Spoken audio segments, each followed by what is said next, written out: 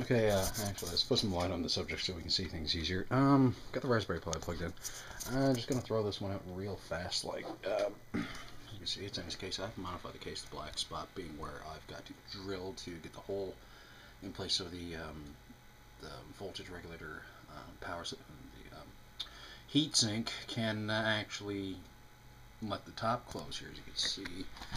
Um, not quite closed more of a fault of this screw here because they cut the hole here, but they never put any allocation in for the heatsink regulator. Um, heatsink for the regulator. I've got this plugged directly into my PC, my Windows PC, I should say, because this is most everybody out there is using Windows. Yes, I know I use Linux, but this is going to be just kind of, I guess you could say, a little quick tutorial. So I've already got this open. Now, if my mouse ever decides to be visible, this is one thing I hate about Windows 7. The mouse can just go to sleep on you within a minute. Alright, so um, the coolest thing about the way Raspberry Pi is if you want to sync it, you can if when you install Samba when you're doing this Ras uh, RetroPie. And these are the different uh, computers that are uh, that are currently active in the network, and Raspberry Pi as well. Samba is just work groups. So the only thing it shares is this ROM folder, and got everything here. Um, now some are not going to make as much sense as others. Like um, there's one here, FBA. That's actually Final Burn Alpha. It's one of three Neo Geo emulators on this thing.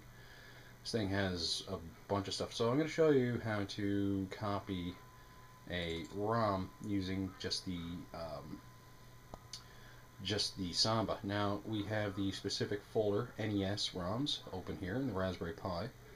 And I'm going to go here and I've actually got a folder here. This is all my ROMs. So let's uh, copy a Nintendo game.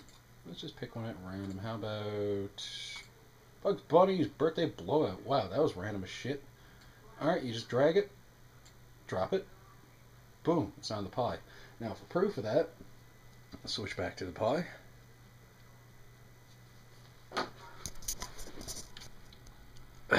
Let's bring up emulation station. Let's grab our controller. Here's emulation station.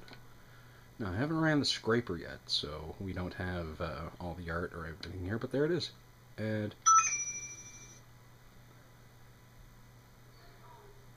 Now I've got to do some more tweaks to take the widescreen off of this because it looks like crap right now. But what it is is when it's in 4x3 format, uh, it tries to simulate a interlaced mode.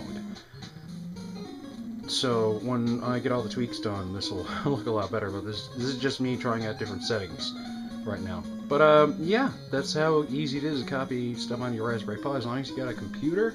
This does work with Linux, but I thought I'd just use Windows as everybody else uses it for this demonstration.